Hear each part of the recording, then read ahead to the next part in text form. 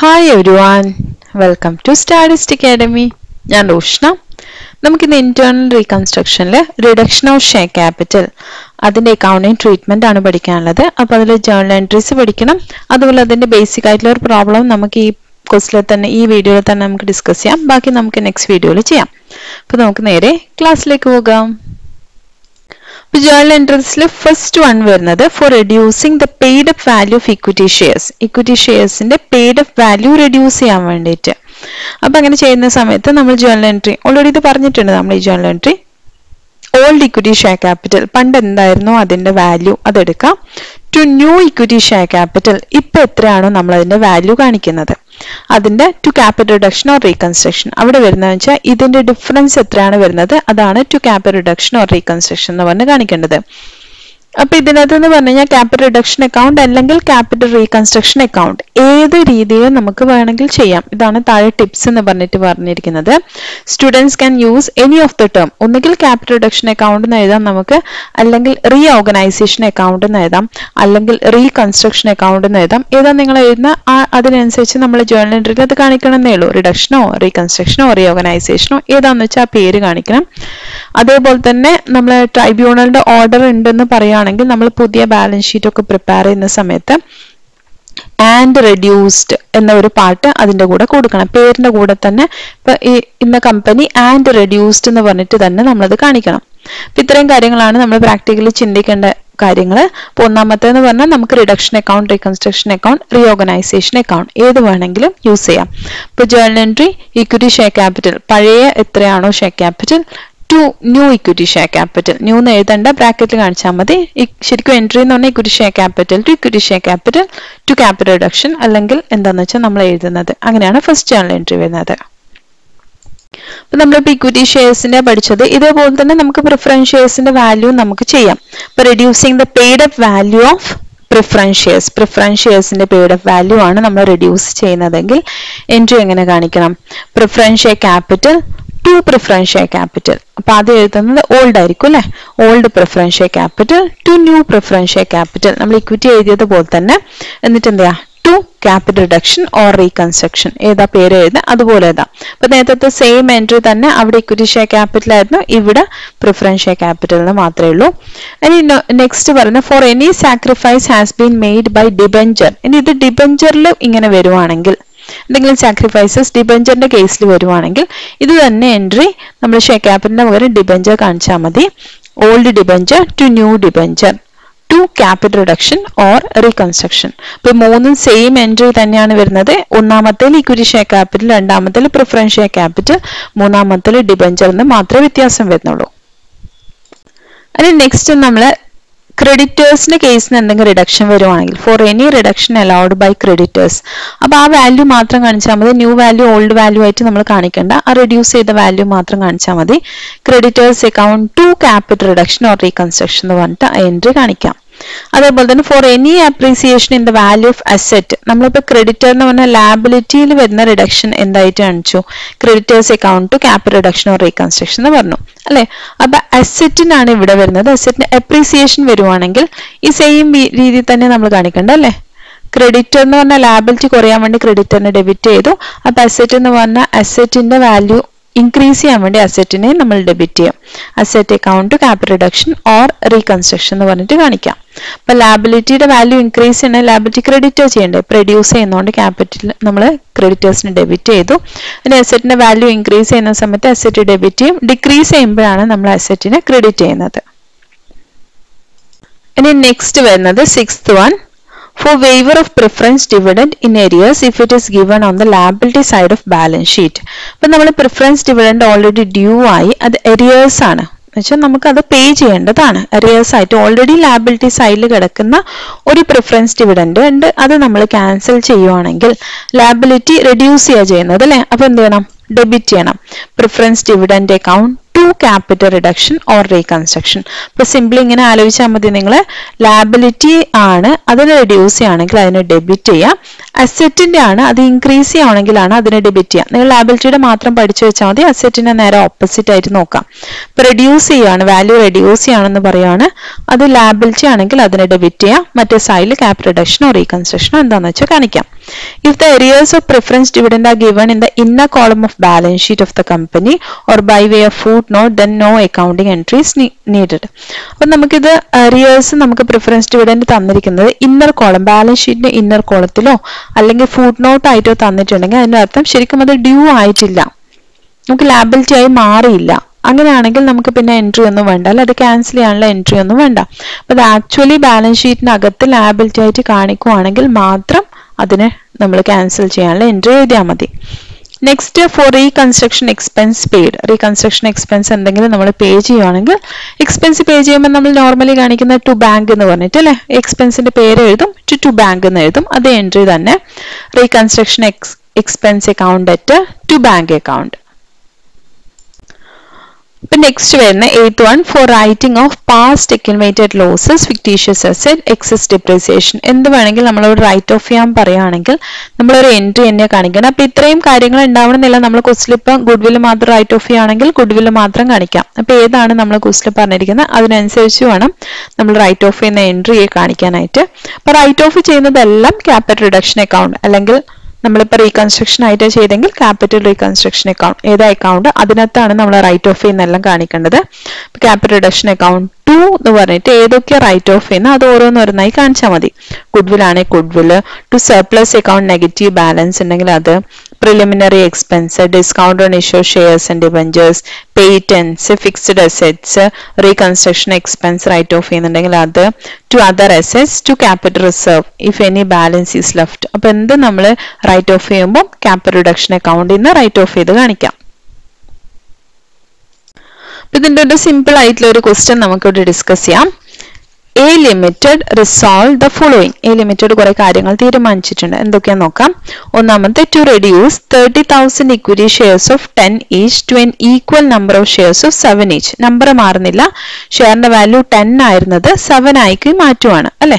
രണ്ടാമത്തത് to reduce forty thousand number പറഞ്ഞിരിക്കുകയാണ് forty thousand shares ഉള്ള eight percent preference shares equity ഷെയർസിന്റെ കാര്യം പറഞ്ഞു. ഇനി പ്രിഫറൻസ് ഷെയർസിന്റെ കാര്യമാണ്.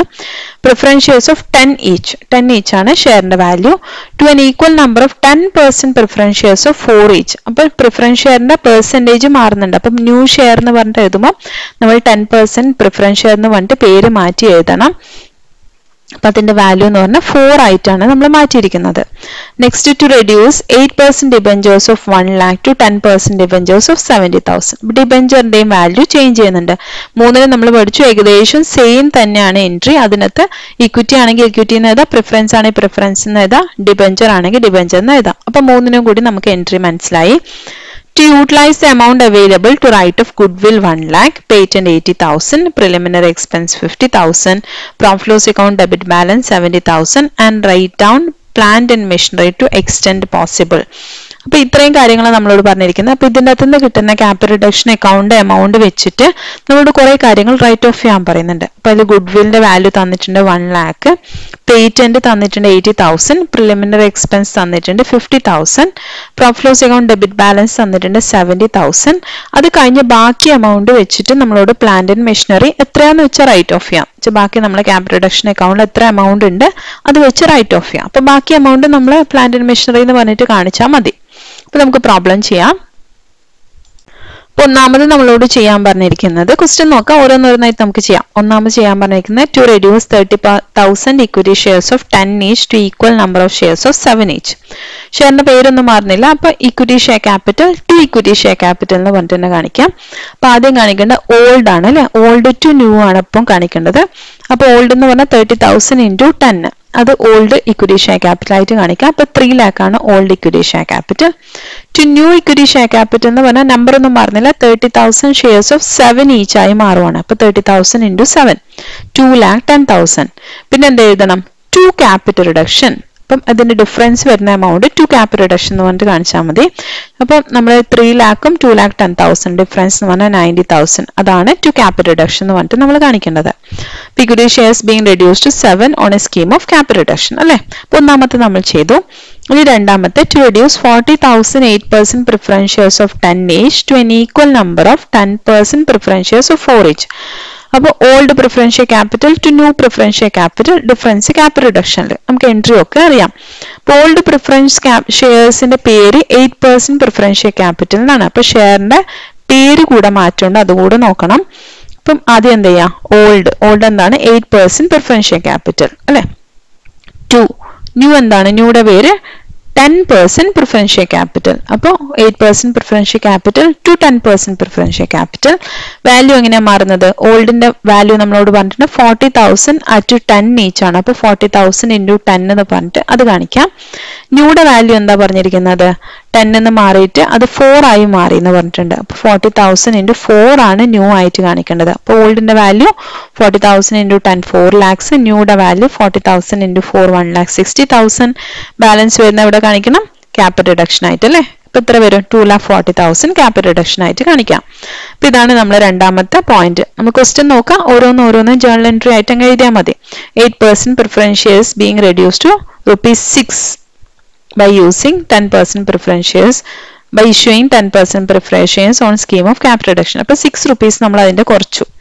നമ്മൾ ടെൻ റുപ്പീസുള്ള സിക്സ് റുപ്പീസ് കുറച്ചു എന്നിട്ട് ഫോർ റുപ്പീസ് ആക്കി പുതിയ ഷെയർ ക്യാപിറ്റൽ ഇനി നെക്സ്റ്റ് നമുക്ക് തേർഡ് പോയിന്റ് ചെയ്യാനുള്ള തേർഡ് പോയിന്റിൽ to reduce eight percent debentures of one lakh to ten percent debentures of seventy thousand പേര് മാറുന്നുണ്ട് അല്ലേ അപ്പൊ എയ്റ്റ് പെർസെന്റ് ഡിബഞ്ചേഴ്സ് ആണ് ഓൾഡ് ടു എന്ന് പറഞ്ഞിട്ട് ന്യൂ എന്തായി മാറി? ടെൻ പെർസെന്റ് ഡിബഞ്ചർ ആയിട്ട് മാറി. ഈ ഓൾഡ് ന്യൂ നിങ്ങൾ എഴുതണം നിർബന്ധമില്ല. അപ്പൊ eight percent debenture account to ten percent debenture account difference എന്ത് ചെയ്യണം? ടു ക്യാപിറ്റൽ റിഡക്ഷൻ എന്ന് പറഞ്ഞിട്ട് നമ്മൾ കാണിക്കണം. അപ്പൊ എൻട്രി എഴുതി വെച്ചു. ഇനി എമൗണ്ട് നോക്കാം. എയ്റ്റ് പെർസെന്റ് ഡിബഞ്ചറിന്റെ വാല്യൂ വൺ ലാക്ക് ആയിരുന്നു നമ്മളോട് പറയുന്നുണ്ട്. അപ്പൊ അത് വൺ ലാക്ക് ആയിട്ട് കാണിക്കാം. പുതിയ വാല്യൂ ടെൻ പെർസെന്റ് ഡിബഞ്ചറിന് സെവന്റി തൗസൻഡ് ആയി മാറിയിട്ടുണ്ട്. അപ്പൊ ഡിഫറൻസ് എന്ന് പറയുന്നത് തേർട്ടി തൗസൻഡ് എന്ത് ചെയ്യാം? നമ്മുടെ ക്യാപിറ്റൽ റിഡക്ഷനിലേക്ക് കാണിക്കാം. ഇത്രയും എഴുതി eight percent debentures been reduced by thirty thousand thirty thousand കുറച്ചു on a scheme of capital reduction by issuing ten percent debentures ten percent issue ചെയ്തിട്ട് നമ്മൾ എന്ത് ചെയ്തിട്ടുണ്ട്? അതിന്റെ വാല്യൂ കുറച്ചിട്ടുണ്ട്. അപ്പോൾ അതുവരെ ആണ്. ഇനിയാണ് നമുക്ക് റൈറ്റ് ഓഫ് ചെയ്യേണ്ടത്. അപ്പോൾ റൈറ്റ് ഓഫ് ചെയ്യുമ്പോൾ നമ്മൾ നോക്കേണ്ടത് നമ്മൾ എൻട്രി നമുക്കറിയാം. ക്യാപിറ്റൽ റിഡക്ഷൻ അക്കൗണ്ട് ടു എന്ന് പറഞ്ഞിട്ട് റൈറ്റ് ഓഫ് ചെയ്യണം എന്നറിയാം അപ്പൊ ഈ ക്യാപിറ്റൽ റിഡക്ഷൻ അക്കൗണ്ടിന്റെ വാല്യൂ നമുക്ക് ക്വസ്റ്റിൽ എവിടെയും തരില്ല. നമ്മൾ എവിടുന്ന് കണ്ടുപിടിക്കണം? നമ്മൾ മുന്നേ ഉള്ള ജേണൽ എൻട്രീസ് നോക്കാം. അപ്പൊ ഒന്നാമത്തെ എൻട്രിയിൽ ക്യാപിറ്റൽ റിഡക്ഷൻ എന്ന് പറഞ്ഞിട്ട് നയന്റി തൗസൻഡ് എഴുതിയിട്ടുണ്ട്. രണ്ടാമത്തെ എൻട്രിയിൽ ക്യാപിറ്റൽ റിഡക്ഷൻ എന്ന് പറഞ്ഞിട്ട് ടു ലാക്ക് ഫോർട്ടി തൗസൻഡ് എഴുതിയിട്ടുണ്ട്. മൂന്നാമത്തെ എൻട്രിയിൽ ക്യാപിറ്റൽ റിഡക്ഷൻ എന്ന് പറഞ്ഞിട്ട് തേർട്ടി തൗസൻഡ് എഴുതിയിട്ടുണ്ട്. ഇതെല്ലാം കൂടി ആഡ് ചെയ്യാം. അതാണ് നമ്മൾ ചെയ്യേണ്ടത്. Two lakh forty thousand plus thirty thousand എന്ന് പറഞ്ഞാൽ two lakh seventy thousand plus ninety thousand എന്ന് പറയുമ്പോൾ ത്രീ ലാക്ക് സിക്സ്റ്റി തൗസൻഡ് വന്നു അല്ലേ? അപ്പൊ ഈ ത്രീ ലാക്ക് സിക്സ്റ്റി തൗസൻഡ് ആണ് നമ്മൾ ക്യാപിറ്റൽ റിഡക്ഷൻ എന്ന് പറഞ്ഞിട്ട് എഴുതേണ്ടത്. ഇതിൽ നമ്മളോട് റൈറ്റ് ഓഫ് ചെയ്യാൻ ചില ക്വസ്റ്റ്യൻസിൽ നിങ്ങൾക്ക് എമൗണ്ട് കറക്റ്റ് ആയിട്ട് തരും. ചിലതിനകത്ത് പറയും ഇത്ര എന്ന് പറഞ്ഞിട്ട് ചില ഐറ്റംസ് ചില ഐറ്റം ഒന്ന് ബാലൻസ് ആയിട്ട് തരും. ആ ബാലൻസ് യൂട്ടിലൈസ് ചെയ്തിട്ട് ഇന്നത് റൈറ്റ് ഓഫ് ചെയ്യാന്നുള്ള രീതിയിലും തരും. ഈ ക്വസ്റ്റ് നമുക്ക് അങ്ങനെയാണ് തന്നിരിക്കുന്നത്. എന്തൊക്കെയാ റൈറ്റ് ഓഫ് ചെയ്യേണ്ടതെന്ന് കുറെ ഐറ്റംസ് തന്നിട്ടുണ്ട്. അതിൽ ഒന്നിന്റെ മാത്രം വാല്യൂ തന്നിട്ടില്ല. ഗുഡ് വില്ലിന്റെ നമുക്ക് വാല്യൂ തന്നിട്ടുണ്ട്. അപ്പൊ ടു ഗുഡ് വിൽ എന്ന് പറഞ്ഞിട്ട് വൺ ലാക്ക് എഴുതി ടു പേറ്റന്റ് എന്ന് പറഞ്ഞിട്ട് നമ്മൾ എയ്റ്റി തൗസൻഡ് എഴുതി ടു പ്രിലിമിനറി എക്സ്പെൻസ് എന്ന് പറഞ്ഞിട്ട് ഇതൊക്കെ ക്വസ്റ്റിൽ തന്ന വാല്യൂസ് ആണ്. അല്ലെ? പ്രിലിമിനറി എക്സ്പെൻസ് പറഞ്ഞിട്ട് ഫിഫ്റ്റി തൗസൻഡ് എഴുതി പ്രോഫിറ്റ് ലോസ് അക്കൗണ്ട് എന്ന് പറഞ്ഞിട്ട് നമ്മൾ എത്ര എഴുതി? സെവന്റി തൗസൻഡ് എഴുതി. ഇത്രയാണ് നമുക്ക് വാല്യൂസ് തന്നിട്ടുള്ളത്. ടു പ്ലാന്റ് ആൻഡ് മെഷീനറി കൂടെ എഴുതണം അല്ലെ? Right down plant and machinery കൂടെ പറഞ്ഞിട്ടുണ്ട്. അപ്പൊ പ്ലാന്റ് ആൻഡ് മെഷീനറി എന്ന് പറഞ്ഞിട്ട് last to plant and machinery എന്ന് പറഞ്ഞിട്ട് അത് എഴുതി. പക്ഷെ അതിന്റെ എമൗണ്ട് നമുക്ക് തന്നിട്ടില്ല. എങ്ങനെ നമ്മൾ കണ്ടുപിടിക്കും? ഡെബിറ്റിൽ നമുക്കുള്ള ത്രീ ലാക്ക് സിക്സ്റ്റി തൗസൻഡ് ആണ്. അതിന്റെ അകത്ത് നമ്മൾ ഇതുവരെ എഴുതിയ എല്ലാ വാല്യൂസും മൈനസ് ചെയ്യാം. Three lakh sixty thousand one lakh minus ചെയ്യാം. എയ്റ്റി തൗസൻഡ് മൈനസ് ചെയ്യാം. ഫിഫ്റ്റി തൗസൻഡ് മൈനസ് ചെയ്യാം. സെവന്റി തൗസൻഡ് മൈനസ് ചെയ്യാം. അല്ല മൈനസ് ചെയ്യുമ്പോൾ നമ്മുടെ കയ്യിൽ ബാക്കി എത്ര വരുന്നുണ്ട്? സിക്സ്റ്റി തൗസൻഡ് ആണ് വരുന്നത് അല്ലേ? അപ്പൊ ആ സിക്സ്റ്റി തൗസൻഡ് ആണ് plant and machinery write off ചെയ്യാൻ നമ്മൾ യൂസ് ചെയ്യേണ്ടത്. പിന്നെ ക്വസ്റ്റ്യൻ വരുമ്പോൾ എമൗണ്ട് തന്നില്ലെന്ന് പറഞ്ഞ് കൺഫ്യൂഷൻ ആവണ്ട ക്യാപിറ്റൽ റിഡക്ഷന്റെ വാല്യൂ ആദ്യം കണ്ടുപിടിക്കുക. ഇതിന് മുന്നേയുള്ള എല്ലാ എൻട്രീസും നോക്കാം. എവിടെയൊക്കെ ക്യാപിറ്റൽ റിഡക്ഷൻ ഉണ്ടോ എല്ലാം കൂടി ആഡ് ചെയ്ത് കഴിഞ്ഞാൽ ക്യാപിറ്റൽ റിഡക്ഷന്റെ വാല്യൂ കിട്ടും. അതിന്റെ അകത്ത് ഓരോ അസറ്റ് ആയിട്ട് എഴുതാം. എന്നിട്ട് നമുക്ക് ബാലൻസ് ഉണ്ടെങ്കിൽ ബാലൻസ് വാല്യൂ ആയിരിക്കും. നമ്മൾ ഈ പറഞ്ഞിരിക്കുന്ന ലാസ്റ്റ് വന്നിരിക്കുന്ന എമൗണ്ട് തരാത്ത ഐറ്റത്തിന് റൈറ്റ് ഓഫ് ചെയ്യാൻ വേണ്ടി നമ്മൾ യൂസ് ചെയ്യേണ്ടത്. അപ്പം നാല് എൻട്രീസും ക്ലിയർ അല്ലേ? ആദ്യത്തെ മൂന്ന് എൻട്രീസും സിമിലർ തന്നെയായിരുന്നു. അതിനകത്ത് വന്നിരിക്കുന്ന ക്യാപ് റിഡക്ഷൻ വെച്ചിട്ട് നാലാമത്തെ എൻട്രി നാലാമത്തെ പോയിന്റിൽ പറഞ്ഞിരിക്കുന്ന കാര്യങ്ങളൊക്കെ റൈറ്റ് ഓഫ് ചെയ്തു. അപ്പം നമ്മൾ ഇന്ന് പഠിച്ചിരിക്കുന്നത് ക്യാപിറ്റൽ റിഡക്ഷൻ ആണ്. റിഡക്ഷൻ ഓഫ് ഷെയർ ക്യാപിറ്റൽ അല്ലേ? അതിന്റെ ജേണൽ എൻട്രീസ് പഠിച്ചു. സിമ്പിൾ ആയിട്ടുള്ള ജേണൽ എൻട്രീസ് ആണ് ഒരുപാട് കോംപ്ലിക്കേഷൻസ് ഒന്നും ഇല്ല അപ്പൊ ജേണൽ എൻട്രീസ് ജസ്റ്റ് മനസ്സിലാക്കി വെക്കാം. അതിനകത്ത് ഞാൻ പറഞ്ഞില്ല അസറ്റും ലാബിലിറ്റിയും റെഡ്യൂസ് ചെയ്യുന്ന സമയത്ത് എങ്ങനെയാണ് അത് ആലോചിക്കേണ്ടത് ആ രീതിയിൽ മനസ്സിലാക്കി വെക്കുക. അത്രമാത്രം നമുക്ക് ചെയ്യാനുള്ളൂ. ബാക്കിയുള്ള എൻട്രീസ് എന്ന് പറഞ്ഞു കഴിഞ്ഞാൽ old to new to cap reduction എന്ന് പറഞ്ഞിട്ടും പിന്നെ ലാസ്റ്റ് നമ്മൾ ഇവിടെ അത് റൈറ്റ് ഓഫ് ചെയ്യാൻ പറയുന്ന സമയത്ത് cap reduction to write off എന്ന് പറഞ്ഞിട്ടും കാണിച്ചാൽ മതി. ബാക്കി എന്തൊക്കെയാണ് നമ്മളോട് പറഞ്ഞിരിക്കുന്നത്? അസറ്റ് ആണോ ലാബിലിറ്റി ആണോ നോക്കാം. ലാബിലിറ്റി ആണ് റെഡ്യൂസ് ചെയ്യാൻ പറയുകയാണെങ്കിൽ അതിന് ഡെബിറ്റ് ചെയ്യാം. അസറ്റ് ആണെങ്കിൽ അതിനെന്ത് ചെയ്യാം? റെഡ്യൂസ് ചെയ്യാൻ പറയുകയാണെങ്കിൽ ക്രെഡിറ്റ് ചെയ്യാം എപ്രീഷിയേറ്റ് ചെയ്യാൻ പറയുകയാണെങ്കിൽ ഡെബിറ്റ് ചെയ്യാം. അങ്ങനെ വെച്ചിട്ട് ജേണൽ എൻട്രി എഴുതിയാൽ മതി. അപ്പൊ ഇതിന്റെ ഒരു ക്വസ്റ്റ്യൻ നമ്മൾ ഡിസ്കസ് ചെയ്തിട്ടുണ്ട്. അപ്പം ബേസിക്കലി ഈ ടൈപ്പ് ഓഫ് ജേണൽ എൻട്രീസ് മാത്രമേ വരുള്ളൂ. പിന്നെ ഇതിനകത്ത് എക്സ്ട്രാ ആയിട്ട് വരുന്ന ക്വസ്റ്റ്യൻ എന്ന് പറഞ്ഞു കഴിഞ്ഞാൽ അതിനകത്ത് ബാലൻസ് ഷീറ്റ് തന്നിട്ട് നമുക്ക് റൈറ്റ് ഓഫ് ചെയ്യാൻ പറയുന്നതാണ്. എന്നുവെച്ചാൽ ബാലൻസ് ഷീറ്റ് വന്നിട്ട് തന്നിട്ട് നമ്മളോട് ക്യാപ് റിഡക്ഷൻ ചെയ്യാൻ പറയാണ് എന്നിട്ട് ക്യാപ് റിഡക്ഷൻ ശേഷമുള്ള പുതിയ ബാലൻസ് ഷീറ്റ് ചെയ്യാൻ പറയുന്ന ടൈപ്പ് ഓഫ് ക്വസ്റ്റ്യൻസ് ആണ്. അത് നമുക്ക് അടുത്ത വീഡിയോയിൽ ഡിസ്കസ് ചെയ്യാം. ഈ ബേസ് ഉണ്ടെങ്കിൽ നമുക്ക് ആ ക്വസ്റ്റ്യൻസ് കൂളായിട്ട് ചെയ്യാൻ പറ്റും. അപ്പൊ ഈ വീഡിയോ കറക്റ്റ് ആയിട്ട് നല്ലപോലെ ജേണൽ എൻട്രീസും ഈ ബേസ് ആയിട്ടുള്ള പ്രോബ്ലം ചെയ്തത് നല്ലപോലെ നോക്കാം. ഇത് നമുക്ക് നെക്സ്റ്റ് ക്ലാസ്സിൽ ബാക്കി ചെയ്യാം. ഇതുവരെയുള്ള എല്ലാവർക്കും ക്ലിയർ ആയി എന്ന് വിചാരിക്കുന്നു. അടുത്ത വീഡിയോയിൽ കൂടി വീണ്ടും കാണാം. അതുവരെയ്ക്കും ഹാപ്പി ലേണിംഗ്